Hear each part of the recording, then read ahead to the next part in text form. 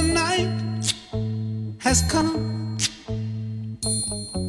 and the land is dark and the moon is the only light we'll see.